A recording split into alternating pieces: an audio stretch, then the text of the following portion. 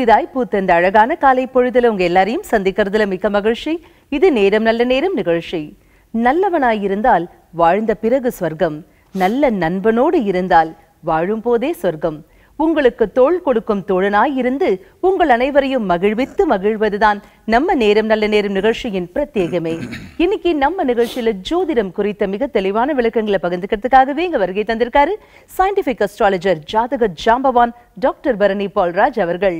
உங்களுடைய சந்தேகங்களையும் நீங்க எங்களுக்கு கால் பண்ணி கேட்கலாம். கால் பண்ண வேண்டிய எண்கள் பூஜ்ஜியம் நான்கு நான்கு நான்கு ஐந்து ஒன்பது ஆறு ஒன்பது ஐந்து ஒன்பது ஐந்து. வணக்கம் சார் வணக்கம்மா.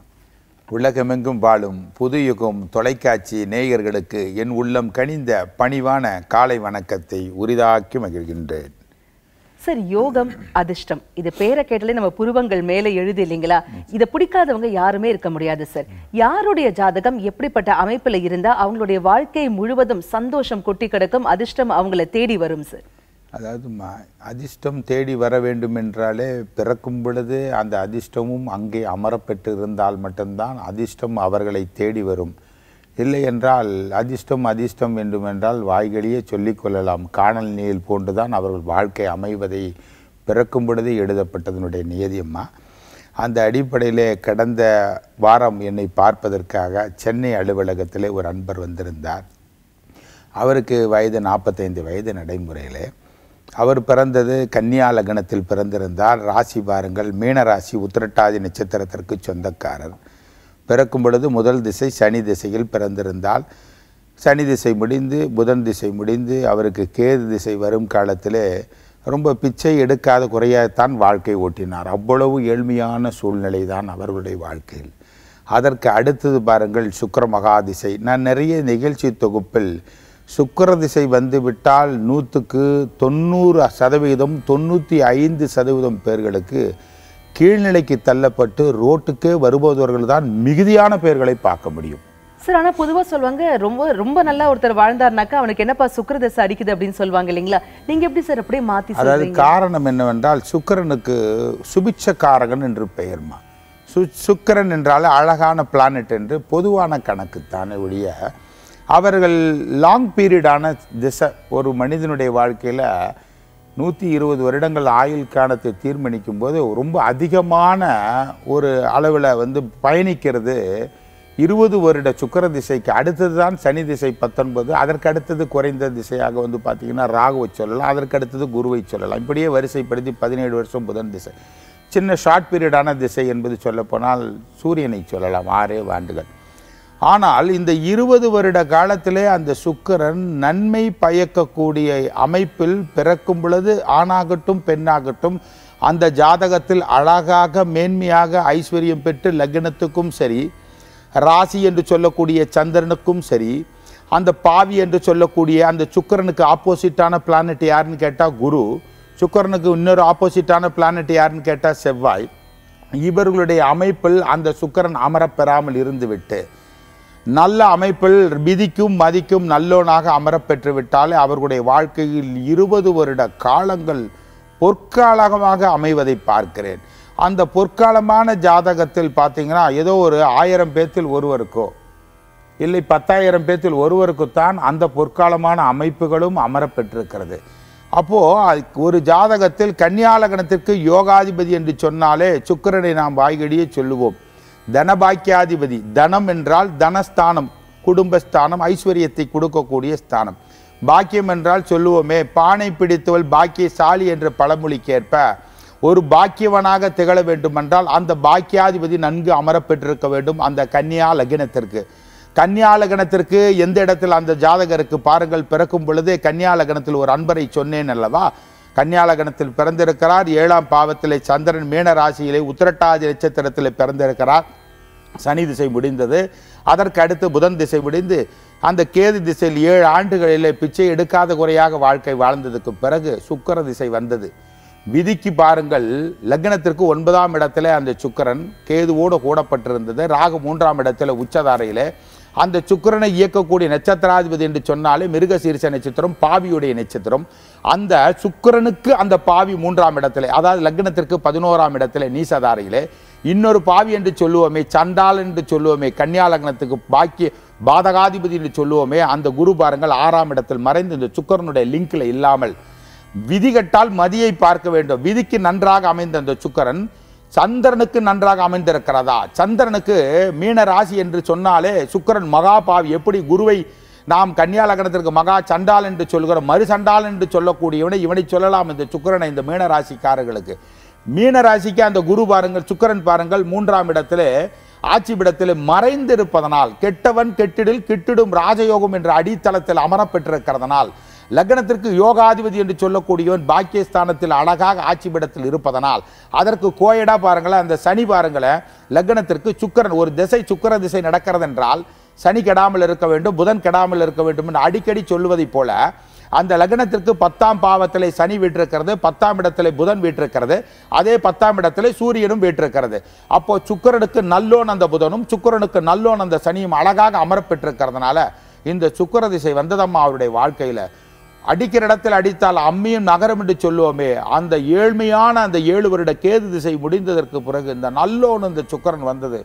சுக்கர திசை சுக்கிர புத்தி ஆகட்டும் சூரிய புத்தி ஆகட்டும் சந்திர புத்தி ஆகட்டும் செவ்வாய் புத்தி ஆகட்டும் ராகு புத்தி ஆகட்டும் கிட்டத்தட்ட பத்து ஆண்டுகளை கடந்து பல கோடி ரூபாயை சம்பாதித்து ஐஸ்வர்யமாக வாழ் ஆனால் வாழும் காலத்தில் ஏழ்மையான சூழ்நிலை பிச்சை எடுத்து தின்வதைப் போல அவருடைய வாழ்க்கை இருந்தது. ஒரு ஜாதகத்தில் அடித்தளம் நன்றாக அமர்ந்து விட்டால் இதைத்தான் சொல்லுவேன் குப்பையில் கிடக்கின்றதா மாணிக்கம்? மாணிக்கம் குப்பையில் இருந்தாலும் இன்னும் கோபுர கலசத்தின் உச்சாணிக்கு சென்றாலும் மின்னுவது என்று சொல்வதைப் போல கன்னியாலகணத்திற்கு ஒன்பதாம் இடத்திலே பாக்கியஸ்தானத்திலே அந்த சுக்கரன் அதே போன்று மதி என்று சொல்லக்கூடிய அந்த சந்திரனுக்கு பாவி என்று சொல்லக்கூடிய அந்த சுக்கிரன் மறைந்து நிறைந்த சம்பத்தோடு அழகாக அமர்ந்தனால் அந்த இருபது வருடம் அவருடைய வாழ்க்கையில் எத்தனை ஏழரை சனி வந்தாலும் சரி எத்தனை எட்டரை சனி வந்தாலும் சரி ஒன்பதரை வந்தாலும் பத்தரை வந்தாலும் குரு பயிற்சி சாதகமாக அமரப்பெறவில்லை என்றாலும் சனி பயிற்சி சாதகமாக அமரப்பெற ராகு கேது எந்த கிரகங்கள் அமரப்பெறவில்லையால் இருபது வருடம் அவருடைய வாழ்க்கையில் பொற்காலமாகத்தான் அமையும் ஓடிய மாற்று கருத்தாக மாறி. அதுதான் ஒரு ஜாதகத்தில் விதிகட்டால் மதியை பார்க்க வேண்டும் மதிகட்டால் கதியை பார்க்க வேண்டும் கதி கட்டால் அந்தந்த ஸ்தான பலங்களை அந்தந்த பாவத்தை தொட்டு பார்க்க வேண்டும். இதைத்தான் அந்த இடத்துல தான் நாம் சாரத்தை பார்க்க வேண்டும். இந்த இடத்தில் சாரம் பாருங்கள் சுக்கிரனை இயக்கக்கூடியது பாவியுடைய நட்சத்திரம் தான். நான் இல்லை என்று மறுக்கவில்லை செவ்வாயுடைய நட்சத்திரம். அந்த பாவி பாருங்கள் இந்த சுக்கிரன் முடித்து விடுகிறான். இந்த சுக்கிரனுக்கு அந்த மூன்றாம் இடத்துல லக்னத்திற்கு பதினோராம் இடத்துல செவ்வாய் லக்னத்திற்கு சூரியனும் புதனும் சனியும் பத்தாம் இடத்துல சுக்கிரன் பாக்கியஸ்தானத்தில். மதி என்று சொல்லக்கூடிய சந்திரனுக்கு மூன்றாம் பாவத்தில் இந்த சுக்கரன் அழகாக அமரப்பெற்றனா. இருபது வருடம் பொற்காலம். இதுதானம்மா யோக பாவம். எந்த கோயிலுக்கு போனால் இவர்களுக்கு எத்தனை ஐஸ்வர்யமான பாக்கியங்கள்.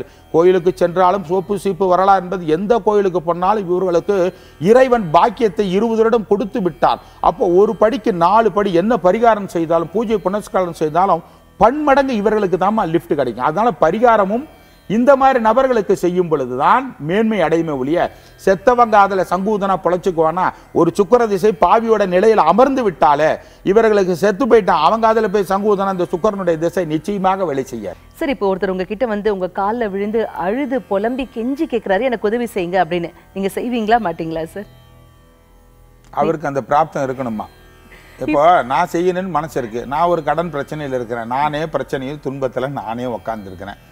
நான் செய்யணும்னு மனசோட இல்லைங்க நான் பெரிய ஒரு கோடி கணக்கில் கடனில் உட்காந்துருக்கேன் நானே ரொம்ப சிரமத்தில் உட்காந்துருக்கேன்னு வச்சுங்களேன் அவர் வர்றாரு. காலில் கதறி விழுந்தாலும் நான் அட்வைஸ் தான் செய்ய முடியும். நிச்சயமாக செய்ய முடியாது. அந்த பிராப்தம் நான் செய்ய வேண்டும் என்பது விதிப்பயன் இருந்தால் அவர் அடைய வேண்டும் என்பது விதிப்பயன் அவர் கட்டத்தில் எழுதி இருந்தால் நிச்சயமாக நான் இல்லை யாராவது ஒருத்தர் செய்து விடுவார்கள். செய்யக்கூடாதுன்னு விதிப்பையன் அமர்ந்து விட்டால் காலில் விழுந்தாலும் கையில் வந்து உருண்டு பிறண்டு அதான் ஒற்றை மண்ணு தான் ஒட்டுன்னு சொல்லுவாங்களே அந்த நிலை தான் சரிங்க சார். இப்போ விதி மதி இது எல்லாமே வந்து மனித பிறப்புக்கு தான் இல்லைங்களா? இறைவனுக்கு அது கிடையாது.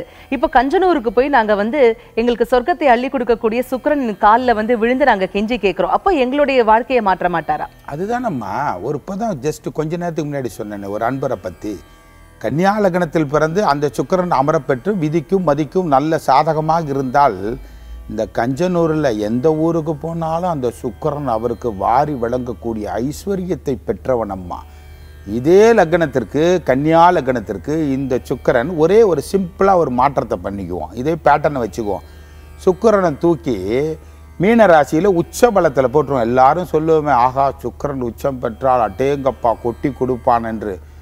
கன்னியாலகணத்திற்கு தனபாக்கியாதிபதி என்று சொல்லக்கூடியவன் முதல்ல சொன்னது யோகத்தை சொன்னோம் அவயோக ஜாதகம் எப்படின்னா இதே சுக்கரன் கன்னியா லக்னத்திற்கு ஏழாம் இடத்தில் உச்சம் பெற்று சந்திரன் மீனராசி. உத்திரட்டாதி நட்சத்திரமாகட்டும் ஏன் ரேவதி நட்சத்திரமாக கூட வைத்துக் கொள்ளுங்கள். ஏன் பூரட்டாதி நட்சத்திரம் கூட அங்கே இருக்கிறதல்லவா பாதம்? அதில் கூட வச்சுங்க. இந்த சுக்கரன் அங்கே போட்டிங்கன்னா அவ்வளோதான் திருவோடு தான். அந்த வெறுவோடு கூட கிடைக்காதும்மா. நீங்கள் என்னதான் கஞ்சனூரில் போய் மண்டிக்கிட்டு தருகி உருகி வணங்கி வேண்டு கும்பிடு ஆயிரம் கும்பிடு லட்சம் கும்பிடு போட்டிங்கனாலும் இந்த சுக்கரன் இருபது வருஷம் ஓயாசிஸ் நோக்கி ஓயா பயணம். பாலைவனமாகத்தான் காட்சி அளிக்குமே தவிர சோலைவனமாக எந்த கோயிலுக்கு போனாலும் இது ஜெயிக்காது. இது கரையேறாத கப்பல். கரையே சேராது. அவ்வளோதான் தரை தான் போங்க. அது நீங்கள் போய் கஞ்சனூரில் விடிய விடிய என்ன தான் பண்ணால் ஆகாது. இதே வந்து கன்னியா லக்னத்திற்கு இதே சுக்கிரன் ஒன்பதில் அமர்ந்து ராசிக்கு ஒன்பதாம் இடத்தில் இருந்தால் கஞ்சனூரில் இருக்கிற தெய்வம் இவன் வீட்டில் குடி கொண்டு இருக்கும் நீங்கள் கஞ்சனூருக்கெல்லாம் போக வேண்டாம். தெய்வம் அவன் முன்னாடி நின்று நீ கெட்டதையே பண்ணாலும் அவனுக்கு ஐஸ்வர்யத்தை வாரி வழங்கடா அவன் போன பிறவில் செஞ்ச பிறப்பால் எழுதப்பட்ட ஊழ்விடை என்பது உறுத்து வந்து ஊட்டுமா? அதாவது வினை விதைத்தவன் வினை அறுப்பான் திணை விதைத்தவன் திணை அறுப்பான் என்ற பழமொழிக்கு ஏற்ப பிறக்கும் பொழுது அடித்தளமாக அவனுக்கு அந்த சுக்கரன் அமரப்பெறவில்லை என்றால் இவனுடைய வாழ்க்கை ஓயாசிஸ் நோக்கி ஓயா பயணம்தான். அமர பெற்றுவிட்டால் இவனை போல் அள்ளி கொடுக்கக்கூடியவன் இந்த உலகத்தில் இந்த பிரபஞ்சத்தில் எந்த கிரகமும் கிடையாது. அதுக்கு ஈடுணையாக கொடுக்கக்கூடியவன் இதைவிட ஒரு பிளானட் யாருன்னு கேட்டம்மா ராகு. சொர்க்கபுரியவே காட்டுவானம்மா உல்லாசபுரிக்கு சொந்தக்காரன். இந்த சுக்கரனும் ராகுவும் நன்கு அமைந்து விட்டால் ஒரு ஜாதகத்தில் பாருங்கள் மகர லக்னத்திலே மகர ராசியிலே ஒரு அன்பர் பிறந்திருக்கிறார். லக்னத்திற்கு மகாத் பாவி யார் என்று சொன்னாலே அந்த குருவை சொல்லிவிடலாம். லக்னத்திற்கும் சண்டாளன் யார் என்று பார்த்தால் இந்த குரு. ராசிக்கும் மகா பாவி என்று சொன்னாலே இந்த குருவே? விதிக்கும் மதிக்கும் திருதிய விரையாதிபதி என்று சொல்லக்கூடியவனே இந்த குரு. இந்த குரு பாருங்கள் லக்னத்திற்கும் ராசிக்கும் எட்டாம் இடத்திலே சிம்மமனையில் அமர்ந்து அதை சுக்கரனுடைய அம்சத்தில் பெறவில்லை என்றால் இந்த பதினாறு வருடம் எந்த பாவி என்று சொல்லுகிறோமோ எந்த சண்டாளன் என்று சொல்லுகிறோமோ எந்த மகா அயோக்கியன் என்று சொல்லுகிறோம் அந்த குரு பாருங்கள் பதினாறு வருஷம் அவனுடைய வாழ்க்கையில் அற்புதமான யோகத்தை செஞ்சிடறாமா அந்த பாவி? கெட்டவன் கெட்டிடில் கிட்டிடும் ராஜயோகமா? அதை போன்று அமரப்பெற்று ரெண்டாவது பாருங்களேன் லக்னத்திற்கு யோகாதிபதி யார்? மகர லக்னத்திற்கு சுக்கிரனே. மகர ராசிக்கு யோகாதிபதி யாருன்னு கேட்டா சுக்கரனை. விதியும் மதியும் அவனுக்கு ஒன்றாக அமர்ந்து அந்த சுக்கிரனை ஐந்தாம் பாவத்தில் அமரப்பெற்றிருந்தால் சனியோடு அந்த இடத்துல கூடியிருந்தால் புதனோடும் அங்கு கூடி இருந்துட்டால் அடேங்கப்பா இந்த குரு திசை பதினாறு ஆண்டுகள் பொற்காலமாக அமர். பிறக்கும் பொழுது அவன் திருவோண நட்சத்திரத்திலே பிறக்கலாம் இல்லை அவிட்ட நட்சத்திரத்திலே பிறந்திருக்கலாம். இல்லை என்று சொன்னால் சூரியனுடைய நட்சத்திரமும் அங்கே பார்த்து எந்த நட்சத்திரத்தில் வேண்டுமென்றால் பிறக்கலாம். அந்த திசை முடிஞ்ச அந்த குரு திசை ராகு திசை முடிஞ்ச அந்த குரு திசை வருங்காலத்தில் பதினாறு வருஷம் லிஃப்ட் ஃபர்ஸ்ட்டுமா ரெண்டாவது பார்த்தீங்கன்னா பாவியுடைய திசையை கடக்கும்போது அதுலேயே அவன் லிஃப்ட் பட்டவன். யோகாதிபதி வந்தால் எவ்வளோ அழகாக கொட்டி கொடுப்பான். மகர லக்னத்துக்கு மகர ராசிக்கு அஞ்சில் சுக்கரன்வான். ஒரு ஜாதகத்தை பார்க்குறேன். இதெல்லாம் பத்தாயிரம் பேர்த்தில் ஒருத்தருக்கு மட்டும்தான் இந்த அமைப்பு அமை எல்லாத்துக்கும் அமையாது. அந்த சுக்கர அதுக்கு அதுக்கு அடுத்து சனி திசை. சனி ப்ளஸ் புதன் பிளஸ் புதன். சுக்கரன். மூணு ஒன்று அஞ்சாம் இடத்துல இருக்கு இல்லைங்களா? அப்போ சனி திசை பத்தொம்போது வருஷம். அவன் என்னதை கெட்டதை பண்ணாலும் சரி நல்லதை பண்ணாலும் பன்மடங்கு ஐஸ்வர்யத்தை கொடுத்துரும். சனி திசை நல்லாயிருக்கும் அதுக்கடுத்து வரக்கூடிய புதன் திசை நல்லாயிருக்கும் புதனுக்கு அடுத்து வரக்கூடிய சுக்கரன். அப்போ பதினாறு ஆண்டுகள் குரு திசையும் அதற்கடுத்து வரக்கூடிய பத்தொன்பது ஆண்டுகளும் சனி திசையும் அதற்கடுத்து வரக்கூடிய பதினேழு ஆண்டுகள் பொற்காலமாக அமரக்கூடிய அந்த புதனும் அதற்கடுத்து கேது எப்படி அமர்ந்திருந்தாலும் சுக்கிர திசை ஆக மொத்தம் பிறந்த நாள் முதல் அந்திம காலம் வரையிலும் ஒருத்தன் யோகம் யோகம் யோகம் யோகத்தோட பிறக்க வேண்டும் என்றால் இப்படி அடித்தளம் அமரப் பெற வேண்டும். இது எல்லோருக்கும் கிடையாது. உருண்டு பிறண்டு அழுது பிறண்டாலும் அதாவது இறந்தவர்கள் மாண்டவர்கள் மீண்டும் திருவதில்லை என்பது எழுதப்பட்ட விதியம்மா சார் இல்லாதவங்களுக்கு கிடைக்கக்கூடிய ஏதாவது ஒரு வழி இருக்கா சார் இல்லாதவங்களுக்கு கிடைக்கக்கூடிய வித சொற்பமான யோக பலன்கள். இப்போ ஒரு திசை இப்போ இதே வந்து சொன்னீங்களே மகர லக்கணத்துக்கு. சுக்கரன் நல்ல நல்லோன் மகர ராசிக்கு நல்லோன். ஆனால் அவன் நல்ல இடத்துல அமரலை. அப்படின்னா நூறு சதவீதம் செய்ய வேண்டிய வேலையை அவன் பத்து சதவீதம் செஞ்சிடுவான் பத்து சதவீதத்தில் எதில் கொடுப்பான்? சுக்கர திசையில் எங்கே கொடுப்பான்னா ராகு புத்தியில் கொஞ்சம் கொஞ்சம் லிஃப்ட்டு திடீர்னு கொடுத்துட்டு இவன் தானே முண்டி மாடு மாதிரி வாழ்க்கை. டக்குன்னு கீழே தள்ளி விட்டுணும் ராகுல கொடுப்பான். அடுத்தது குருபத்தி வரும் பாருங்களேன். குருபத்தியில் வந்தோடனே அவ்வளோலாம் காலி பண்ணிடும். அதுக்கு அடுத்தது மறுபடியும் ப்ளஸ் பண்ணோம் அந்த சனி புத்தி. அதுக்கடுத்து புதன் புத்தி கொஞ்சம் கொடுக்கும் மறுபடியும் கேது. அதெல்லாம் நான் உள் கூட அனுபவிச்சேனம்மா. என்னுடைய ஜாதகத்திலம்மா நான் மீன ராசிக்காரனுக்கு மீன ராசிக்காரன். காரணம் என்ன? மீன ராசி ரேவதி நட்சத்திரம். கன்னியாலகடத்தில் பிறந்தவன். இந்த பாவிக்கு சுக்கர திசையும் தான் வந்தது. நடைமுறையில் ஏழாம் பாவத்தில் சுக்கரன் உச்சம். வாய்களையே சொன்னேனே என்னுடைய நிகழ்ச்சி கூட நான் சொல்லி இருக்கிறேன் அந்த சுக்கரன் திசையில் பார்த்தீங்கன்னா என்னுடைய அரைகுறையாக தெரிந்த அறவேக்காடு ஜோதிடர்கள்லாம் அன்றைய தினம் எனக்கு பழக்கங்கள். வயதான பெரியவர் பார்த்தேன் நான் அன்றைக்கே என்னுடைய வயது கிட்டத்தட்ட நாற்பத்தஞ்சு ஆண்டுகளுக்கு முன்னால் ஐம்பது ஆண்டு சிறுபிள்ளையாக இருக்கும் பொழுது பத்தாயிரம் ரூபா கொடுத்து நான் ஜாதகம் எழுதினம்மா நீங்க அவங்க ஜாதகத்தை பார்த்து சொல்றீங்க. இவ்வளவு காலகட்டம் ரொம்ப சிறப்பா இருக்கும். அதுக்கப்புறம் குறிப்பிட்ட காலகட்டம் ரொம்ப ஜாக்கிரதையா இருக்கணும் அப்படின்னு சொல்றீங்கன்னு வச்சுப்போமே. அதன்படி அவங்களுடைய வாழ்க்கையை அவங்க சேனலைஸ் பண்றாங்க. உங்களுடைய அறிவுரையின் பேர்லையும் அவங்களுடைய மூளையை வைத்தும் அவங்க வாழ்க்கையை வந்து வடிவமைச்சுக்கிறாங்க. இப்போ கிரக கிரகத்தை அவங்களால ஏமாத்த முடியுமா? எந்த வகையிலையும் கிரகத்தை சேனலைஸ் பண்ணியெல்லாம் ஏமாத்தவெல்லாம் முடியாதும்மா. ஒரு கிரகத்தினுடைய அடித்தளம் ஒரு இருபது வருடமாகட்டும் பதினாறு வருடமாகட்டும் கொட்டி கொடுத்ததுக்கு பிறகு அவயோக நிலைகள் அவருக்கு வருகிறது என்றால் அதை அவர்களுடைய ஜாதகத்திலே ஊட்டி இருக்கும். உனக்கு நேரம் இப்பொழுது சரியில்லை என்று சில சில தடைகள் அவர்களுக்கு கண்முன்னே காட்டும்மா. காட்டினவர்களுக்கு அந்த அவயோகத்திலிருந்து தப்பிக்கக்கூடிய வழிமுறைகளும் அங்கேயே எழுதப்பட்டிருக்கும். அப்பொழுதுதான் நல்லோனுடைய ஜோதிடனுடைய அணுகுமுறைகள் அவர்களுக்கு இயற்கையாகவே கிட்ட வேண்டும் என்பது எழுதப்பட்ட விதியும் அங்கு இருக்கும். அதன் வாயிலாகத்தான் நல்ல ஜோதிடர்களை அவர்கள் அணுகவே முடியும். அவயோகம் அவர்கள் ஜாதகத்தில் தாண்டவமாடி இருபது வருடம் வாழ்க்கையில் நல்ல உயர்ந்து பிச்சை எடுக்க வேண்டும் என்பது நிலை பயன் அவர் ஜாதகத்தில் இருந்து விட்டால். அவன் நல்லோனுடைய ஜோதிடனுடைய அணுகுமுறையில் குருமார்களுடைய அமைப்பை அவன் பெற்று இருந்தாலும் அவன் பெற்று அங்க வாழ வேண்டும் என்பது விதிப்பயன் இருந்தால்தான் அதிலையும் ஜெயிக்க முடியும். எந்த வகையிலும் ஊழ்வினை என்பது உறுத்து வந்து ஊட்டுமா? ஒரு ஜோதினிடத்தில் நல்ல அணுகுமுறைகளை கேட்டு அதன் பயனாக அவன் வாழ்க்கை வாழ வேண்டும் என்பது விதி அங்கு இருக்கணும்மா. சோ இப்ப எல்லாருடைய வாழ்க்கையும் ஜாதக கட்டத்துக்குள்ளேயே தான் இருக்குன்னு சொல்றீங்களா? இப்ப வெளிநாடுகள்ல பாத்தீங்கன்னாக்கா அவங்க ஒன்றும் பெருசா ஜாதகம் பாக்குறது இல்லையே. அங்கேயும் சந்தோஷமா ஒத்துமையா வாழறவங்களும் இருக்க தானே சார் செய்யறாங்க அருமையான விளக்கம்மா. அதைத்தானம்மா நான் நிகழ்ச்சியிலே சொல்லுகிறேன். ஜாதகத்தை பார்த்தால் மட்டும் அவனுடைய வாழ்க்கை நிரம்பி விடுமா? தெரிஞ்சுக்கலாம் அறிஞ்சுக்கலாம் புரிஞ்சுக்கலாமே ஒழிய அதனுடைய நிலைப்பாடை எந்த ரூபத்திலையும் மாற்றிவிட முடியாது. அதனால் தான் சொல்லுகிறேன் நீங்கள் சொல்லுவதைப் போல வெளிநாட்டில் உள்ளவர்களுக்கும் எல்லோருக்கும் ஈ எறும்பிலிருந்து மனித இனம் வரையிலும் எல்லா வகையிலும் தாவர இனங்கள் இருந்து மரம் செடி கொடிகளிலிருந்து அவர்களுக்கு இந்த பிறப்பு இப்படி பிறந்து விட்டால் இப்படியெல்லாம் வாழ வேண்டும் என்பது விதிப்பேன். அதுக்காக ஜோசியருடைய வீட்டில் போய் மண்டியிட்டு அப்படி பார்த்தா தான் நல்லாயிருக்கும் இப்படி பார்த்தான்னு சொல்கிறேன்னா நான் உங்களை ஏமாற்றுவதைப் போல அப்படி நான் சொன்னேன் என்றால் என்னை நான் முதலில் ஏமாற்றிக் கொள்ளுவதைப் போல. அதாவது ஒரு ஜாதகத்தில் நல்ல யோக பாவங்கள் அமைந்து விட்டாலே அவனுக்கு ஆட்டோமேட்டிக்காக வந்துரும்மா எல்லாமே. கஷ்டப்படணும் விதி இருந்தாலே அவன் கஷ்டப்பட்டு தானம்மா தீரணும். நீங்கள் நினைக்கிறீங்க வெளிநாட்டில் இருக்கவங்களாம் ரொம்ப அழகாக வாழ்கிறீங்கன்னு நீங்கள் தான் நினச்சிக்கிட்டு இருக்கிறீங்க. எத்தனை வெளிநாட்டில் இருப்பவர்களிடத்தில் அனுதினமும் தொடர்பு கொண்டு அவர்களோட வாழ்க்கை நடத்துவதைப் போல ஒரு பெண்மணி வருகிறாள். மிகப்பெரிய ஜோதிட சாம்பவான் தான். பம்பாயிலிருந்து பலதரப்பட்ட விஐபிகளுக்கு ஜாதகம். அந்த பெண்மணி ஐயா நீங்கள் என்ன நினைக்கிறீங்களோ தெரியல மானசீகமான குருயா.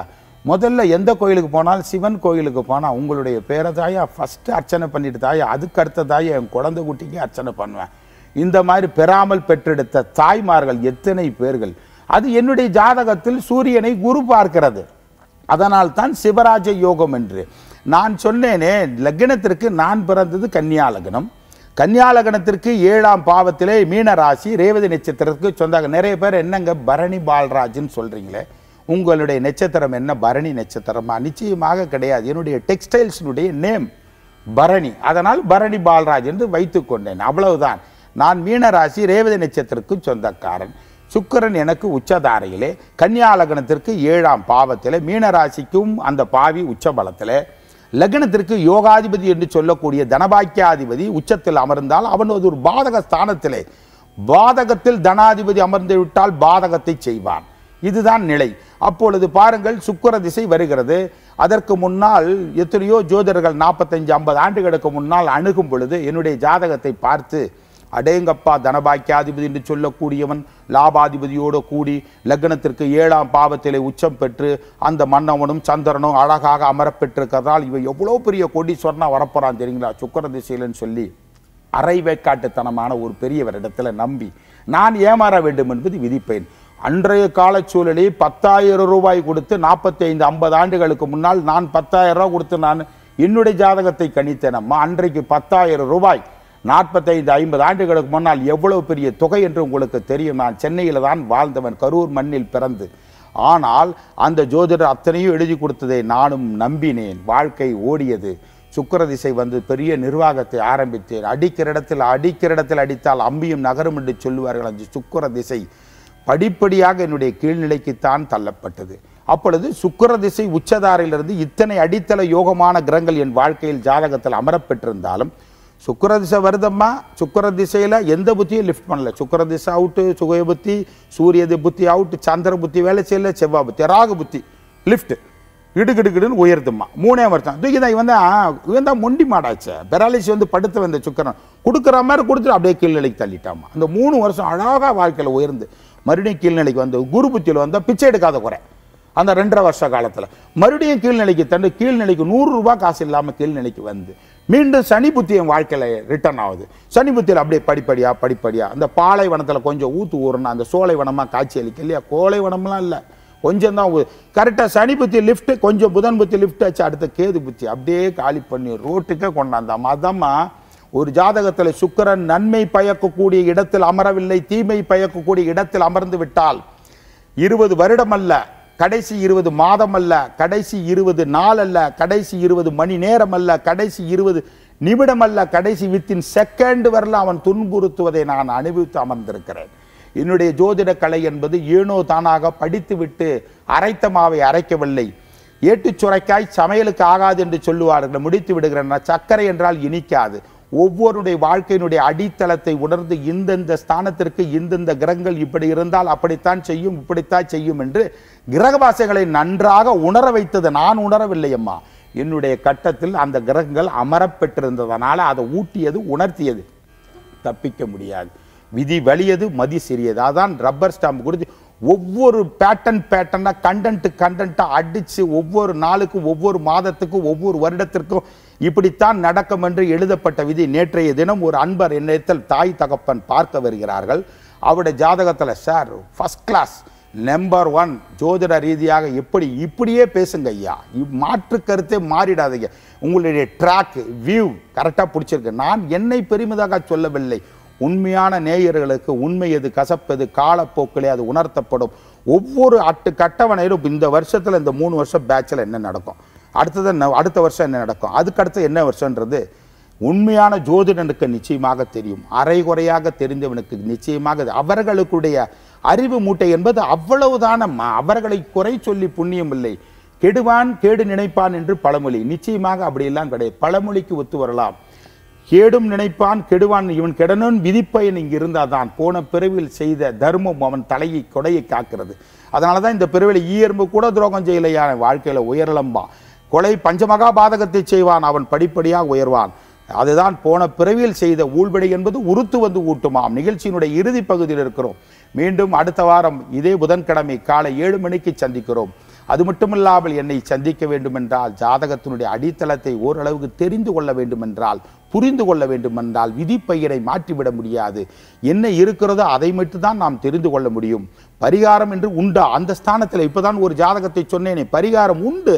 பரிகாரம் இல்லை என்று சொல்லவில்லை. கோயில் புனஸ்காரங்கத்தில் ஒருவன் உயர வேண்டுமென்றால் அவன் கட்டத்தில் விதிப்பயன் எழுதியிருந்தால் எந்த கோயிலுக்கு யார் போய் அவர்கள் பிரார்த்தனை நடத்தினால் அவர்களுக்கு கிட்டும் கிட்டாது என்பதும் அங்கே எழுதப்பட்டிருக்கிறது. அதை தெரிந்து கொள்ளலாம் அறிந்து கொள்ளலாம்.